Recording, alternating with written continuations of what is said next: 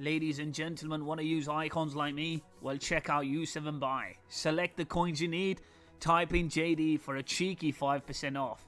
Link in the description. Ladies and gentlemen, welcome to the video. Today we look at Marco van Basten, the prime card.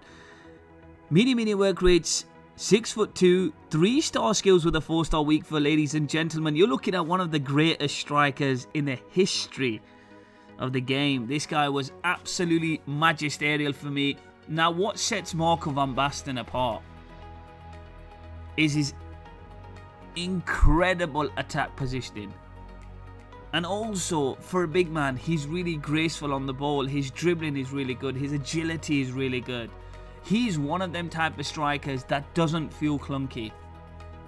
I mean, there might be times where the gameplay isn't good and he can feel clunky. I get that 100%.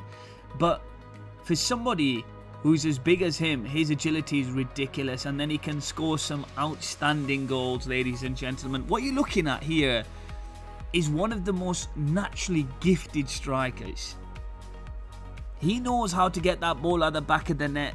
You don't need to teach him. His attack positioning is amazing. Even though he's medium medium, I don't mind him being medium medium. And the reason why he's got a good short pass, he's got fantastic attack positioning. He's going to make a pass and he's going to run right into the box. He's got good dribbling, good agility. And this is a fantastic striker, really is. Can hold up play really well. He's really strong, so his hold up play is fantastic and then he can allow other players to get involved. Of course, he was playing with another great striker Gerd Muller, and of course his review will be coming out soon. But yeah, Marco van Basten, listen, you're getting somebody who cost me 278,000 coins. You're getting fantastic value for coins there because he's an incredible finisher. This guy's got Team of the Year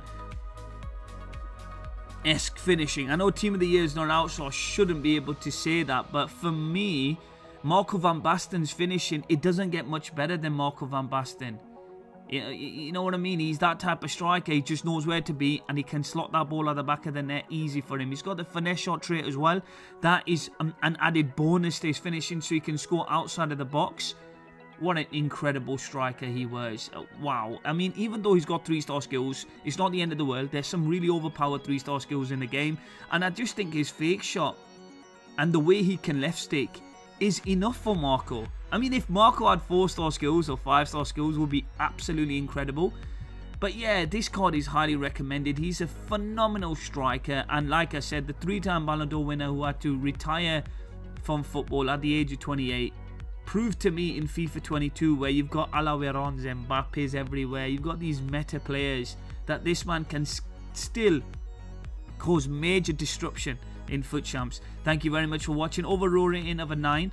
Now, some things to improve, maybe more skills, maybe a little bit better balance, maybe more pace. But we're talking about Marco here, and you never paid a million coins for him. You paid 270,000 and you're getting fantastic value for coins. Thank you very much for watching.